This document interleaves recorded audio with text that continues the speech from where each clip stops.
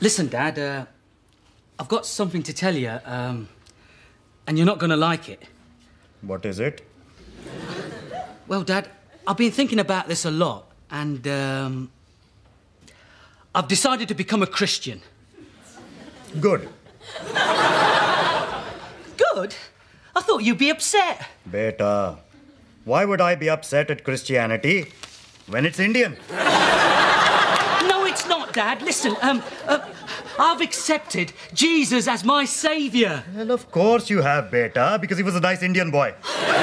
Not Jesus. Ah, Beta, he is as Indian as they come. Huh? He worked for his father, Indian. Parents had children without having sex, Indian. Fed 5,000 people with two loaves and five fishes, Indian picnic. That's not true. Ah, Beta, not just him. All people from the Bible, Indian. Rubbish. Not rubbish. Arre, think about it, yaar. Moses, the people came unto him with their suffering. He went up the mountain and came back with two tablets because he was a pharmacist. Yeah, Noah came from a land where it rained for 40 days and 40 nights. He was Bengali. Walls of Jericho. Walk around it seven times, blow a trumpet, the whole thing falls down. Indian builders. No! And that other fellow, uh, Samson. A big, strong man, long hair. Cut his hair, lies weak as a child because he was sick. The Bible's not Indian, Dad. Read the Gospels Matthew, Mark, Luke, and John.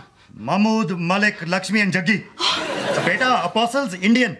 What about Judas? He betrayed Jesus for 30 pieces of silver. Well, business is business. No, Dad. I'm telling you, beta, all people from the Bible, Indian. All except one. Which one? God, not Indian. Why not? In six days, he created the heaven and the earth and everything upon it.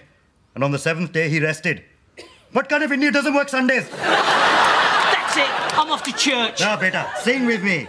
And was Jerusalem builded here on Jalandhar's brown and?